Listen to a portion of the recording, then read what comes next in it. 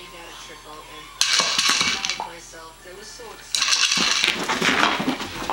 It was a wonderful experience to be there and have him some success.